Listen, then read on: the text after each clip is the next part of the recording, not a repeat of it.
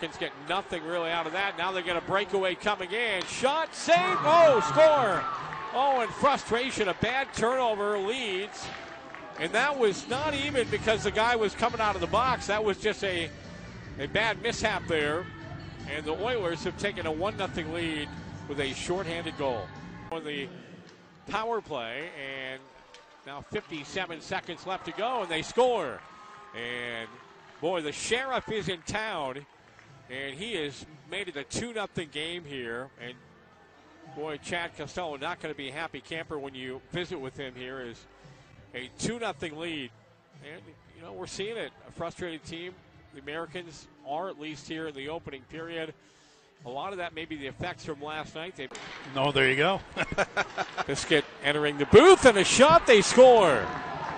And the Oilers have a 3 0 lead here with 14.52 left to go in the period. Three goals on 17 shots. And the one thing we talked about during the intermission is, boy, you got to come out strong in the second period. Can't let them get that third goal. Back coming two on one. MacArthur across with a shot and a great save by Alexander.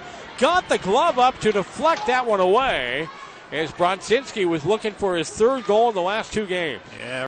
Net. It's going to be one there along the boards by Tulsa. Quick shot. Matsushima scores. And through a screen, Matsushima found just enough room and gives the Oilers a 4 0 lead here with 6.31 left to go in the period. And make it 5 0. Maurice, this is getting ugly. Pass to Matsushima. All the way down in the corner. Tipped it in front. Got it across. They score. Crnkovic rips it into the net. And make it 6 0 Tulsa.